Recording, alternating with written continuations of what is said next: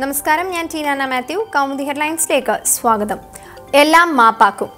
K B Ganesh Kumar M L A യുവാവിനെ മർദ്ദിച്ച സംഭവത്തിൽ ഒത്തുതീർപ്പ്. കേസിൽ ഗണേഷ് കുമാർ കുരുങ്ങുമെന്നുറപ്പായതോടെ ഒത്തുതീർപ്പിന് നേതൃത്വം നൽകിയത് അച്ഛൻ ആർ ബാലകൃഷ്ണപിള്ളയും എൻ എസ് എസ് നേതൃത്വവും. Punalur N S S taluk union ഓഫീസിൽ നടന്ന ചർച്ചയിൽ പരാതിക്കാരുടെ കുടുംബവും പങ്കെടുത്തു. പരസ്പരം കേസുകൾ പിൻവലിക്കാൻ യോഗത്തിൽ ധാരണ. എം എൽ എക്കെതിരായ പരാതി പിൻവലിക്കാൻ തീരുമാനിച്ചതായി മർദ്ദനമേറ്റ അനന്തകൃഷ്ണന്റെ അമ്മ നേരത്തെ വ്യക്തമാക്കിയിരുന്നു. ഇക്കാര്യം പോലീസിനെയും കോടതിയെയും അറിയിക്കും. പരാതിയിൽ നിന്ന് പിന്മാറാൻ സമ്മർദ്ദമുണ്ടെന്നും മകന്റെ ഭാവിയെ കരുതിയാണ് തീരുമാനമെന്നും ഷീന. മകനെ ക്രൂരമായി മർദ്ദിക്കുകയും തന്നെ അപമാനിക്കുകയും ചെയ്തെന്ന് പോലീസിന് നൽകിയ മൊഴി ചവറ മജിസ്ട്രേറ്റിന് മുന്നിൽ ഷീന ആവർത്തിച്ചിരുന്നു. രഹസ്യമൊഴിയുടെ പകർപ്പ് കോടതിയിൽ നിന്ന് കൈപ്പറ്റാതെ ഗണേഷിന് പോലീസിന്റെ ഒത്താശയും. കേസിൽ ഒത്തുതീർപ്പുണ്ടായത് അന്വേഷണത്തിൽ തുടക്കം മുതൽ സർക്കാർ നടത്തുന്നത് കള്ളക്കളി എന്ന ആക്ഷേപം നിലനിൽക്കെ. അന്വേഷണത്തിന് ആദ്യം നിയോഗിച്ചത് സംഭവത്തിൽ സംഭവം നേരിൽ കണ്ടിട്ടും പ്രതി പ്രതികരിക്കാതെയിരുന്ന അഞ്ചൽ സി എ എ. ഇക്കാര്യം വിവാദമായതോടെ സി എ എ സ്ഥലം മാറ്റിയെന്ന് സർക്കാർ നിയമസഭയിൽ പറഞ്ഞെങ്കിലും സ്ഥലം മാറ്റ ഉത്തരവ് നേരത്തെ ഇറങ്ങിയതാണെന്ന് പിന്നീട് വ്യക്തമായിരുന്നു. അതെല്ലാം പഴയ കഥ.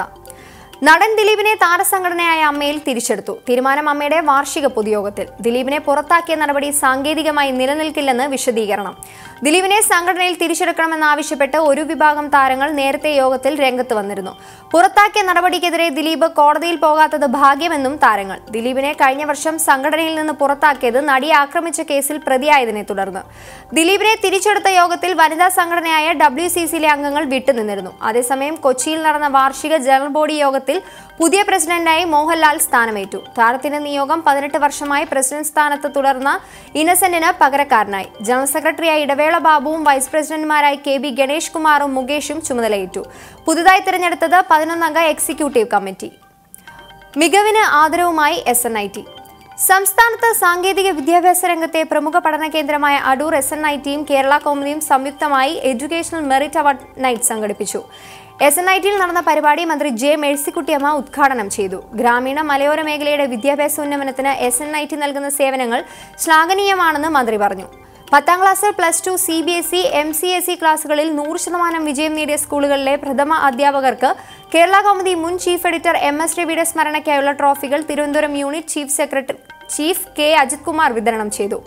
Chittayam Gopakumar M L A ചടങ്ങിൽ അധ്യക്ഷത വഹിച്ചു. S N I T managing director Abin Ambadiyil chairman K Sadanandan എന്നിവർ പ്രസംഗിച്ച ചടങ്ങിൽ Veena George M L A Kerala Kaumudi Pathanamthitta unit chief Sam Chembakathil R B Rajeev Kumar Viju Radhakrishnan C V Chandran S N I T principal doctor George Chelin Chandran academic chairman doctor Keshav Mohan T B I chairman professor Radhakrishnan Nair എന്നിവരും സംസാരിച്ചു. ലോകകപ്പ് വിശേഷങ്ങളുമായി ഇനി സോക്രമാനിയ.